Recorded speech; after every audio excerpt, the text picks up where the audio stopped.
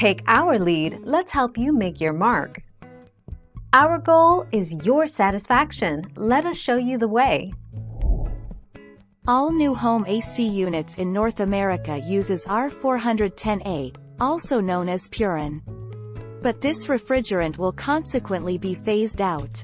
This is due to a continued focus on reducing compounds known to have an effect on the environment. To find out the why that causes AC restrictions, it's useful to put it into perspective.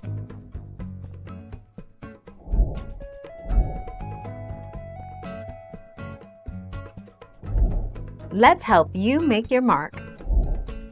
R410A is actually a blend of two different refrigerants, one of which is called R125. There's currently a world shortage of R125 because there aren't enough plants to produce it.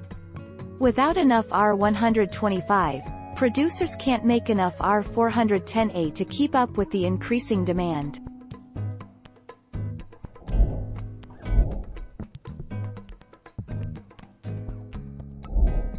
Take our lead.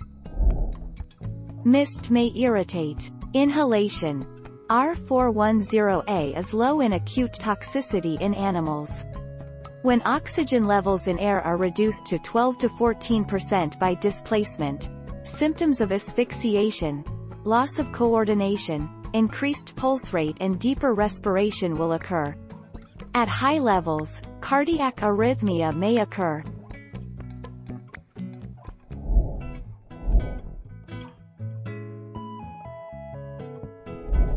Let's help you make your mark. Non-dimensional analysis shows that the inertia of R410A is higher than that of R134A, with the following results. 1. At low qualities. Churn flow. More liquid R410A reaches the top tubes, so R410A distribution is a little better than R134A. 2. At high qualities.